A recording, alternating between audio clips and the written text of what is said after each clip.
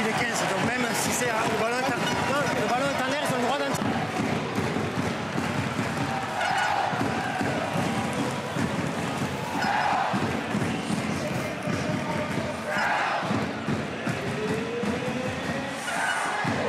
Ok. Et il était bien à 10 mètres au départ, on est d'accord?